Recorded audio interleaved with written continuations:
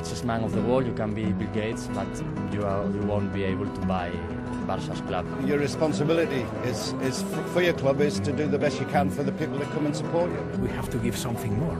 It's not just football. We have to give something more to, to the people and especially to the less fortunate. It's a pleasure uh, to play with all these teammates. They are winners, and, and I think we can do big things. You play for Barcelona, you know, it's, it's, it's you play for a, a, a region. You have to understand here that you play for a country. We prefer to be the best than to be the first. But uh, at the end, if you are the best, you have a, a lot of possibilities to be the first.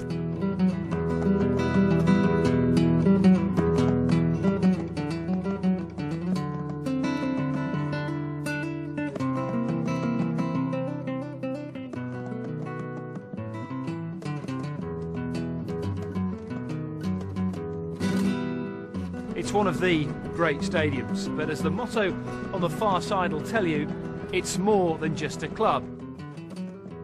Joan Laporta is in the final few months of his presidency at Barcelona, voted for by 150,000 socios, paying 150 euros a year, and they all want a top man who understands the club. It's the expression of our football identity, it's the expression of our culture, and uh, it's the expression of our uh, solidarity and at the same time uh, is the expression of uh, the globalization of the club. This is more than a, than a club.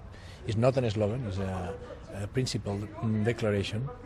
And uh, in, I think that uh, we, we have to develop this uh, principle, this declaration of principles, because, you know, is uh, it's thanks to this that Barca is, is living, we are living in the best period of our history. The framework helps cement Barca's strong Catalan identity. It's easy to see why this model is the envy of many. Barca represents a kind of nationality for Catalan people, and as Catalonia has not a state, you can transmit this feeling uh, via or, or, through Barca. It's coming to the stadium with your flag, with Catalonian flags, and for Catalan people, it's very, very important. Barca is like. Uh, an army, but of course with no weapons, just uh, football, for the Catalan people, just to fight in, the, in, a, in some metaphoric war against Madrid. I think playing for Barcelona is probably as good as it can get in terms of being a footballer uh, and playing for a club. They're just so huge. Um, massive amount of pressure. The expectancy is incredible. You think it's bad in this country. Barcelona has two daily newspapers alone on just pretty much Barcelona Football Club. Um, so I have to fill loads of copy on that, and that was that was 25 years ago. It's an emblem of our country. Of uh, it's an emblem of Catalonia, and this uh, emblem, this meaning, uh, is the way that uh, is the way to to to put everybody commit to commit everybody uh, with the club. And uh, you know, I think that every club has something special, you know. And in our case, is that we are more than just a club because it's the expression of our identity, our Catalan culture, and our solidarity. There are different ways, of course, of running a football club. Back in England, we're very much used now to a, a, foreign owner coming in with a lot of money and, and fans getting a bit upset about the level of debt at clubs. Do you think that the way that Barcelona is run with the fans, with the, the one member, one vote, that the fans are part of that. Do you think that is the best way, the ideal way to do it? Uh, in my opinion, yes. And yes is the, in my opinion, and uh, at least for us, that we are an institution uh, that mm, linked, strongly linked to, to our society, Catalan society. It's very important that the club belongs to the people. Being a season ticket holder is a kind of privilege in Catalonia and Spain, so it is impossible to, that the, the, the, Barca will be in hands of a very economic, very very big company, a very rich uh, man. It's impossible, it's unfeasible, it's, it's unthinkable, because people feel like uh, the, it is my club.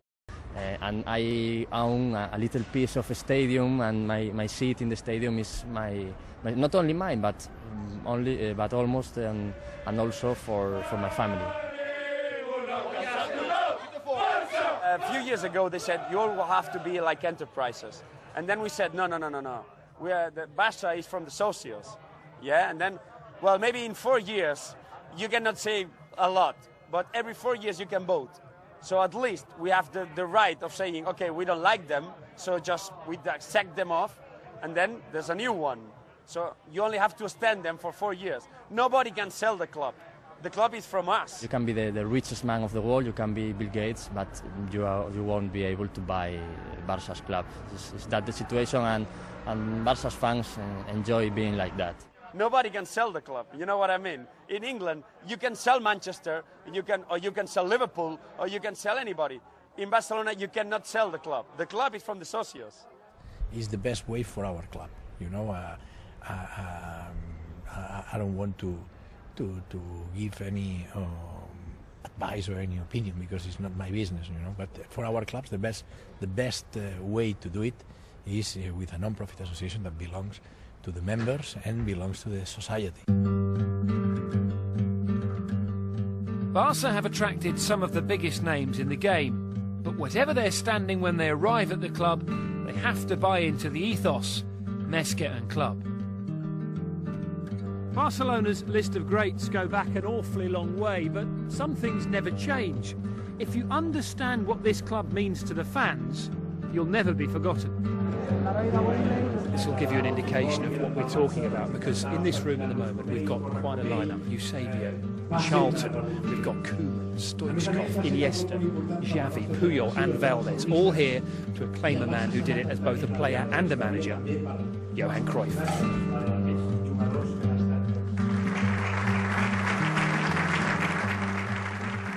Amazing to have two of the game's greats uh, together and to have us talking to you both. I was just wondering whether is there a decision between you? Do you two agree on the best way the football club should be run? But it's not. It's not a que- question of what's good and bad. It depends who or what. It always depends on the situation. It always depends on a lot of different things. Your responsibility is, is for your club is to do the best you can for the people that come and support you. Yeah. And that's what, what both clubs do. And both clubs have been very successful like like every good business, you know, when when you're successful, you make the most of it, and uh, Barcelona have done that, and uh, they're quite unique in, in, in, Spain. Within Spain, they are very unique, um, and if if ever anyone wanted to see how a football club should be run, you know, certainly come to Manchester United, but also make sure that you go to Barcelona because it's. Uh, it's, it's really fantastic. Within the community of, uh, of uh, Catalonia, you could say, it's, it's a point of reference where people do sports, people try to combine people, try to get everything together. And of course, like I said, it, it had one day in a political background. Now it's much more open, of, which is logical. And so, but they kept always more than a club.